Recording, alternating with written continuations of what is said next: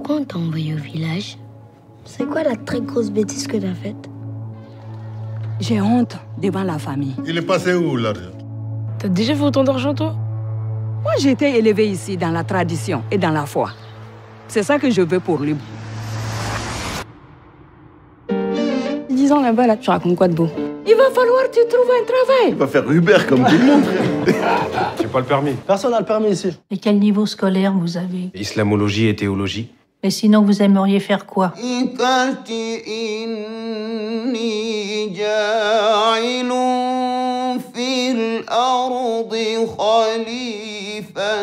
Tu pourrais certainement faire un bon imam. Imam, c'est pas un métier. Ta parole, elle touche. Bravo. Vous allez booster la nouvelle génération. Regarde, ça partage de tous les côtés, les gars. T'es devenu un vrai leader. Moi, je veux que chacun d'entre vous puisse un jour se rendre à la Mecque. On a mis un lien vers une cagnotte en bas des vidéos. Je monte une auto-entreprise et je fais les factures de temps en temps. Nous, on peut avoir des visas en moins d'une semaine. Moi, juste avec les réseaux, je te ramène 300 fidèles à Attends, la Mecque. attends, attends, attends. Donc là, toi, maintenant, tu veux faire agence de voyage? Oui, Ali, c'est ta sœur. C'est quoi ton business? Je commence à m'inquiéter. Ton histoire de visa, ça sent mauvais. C'est une arnaque.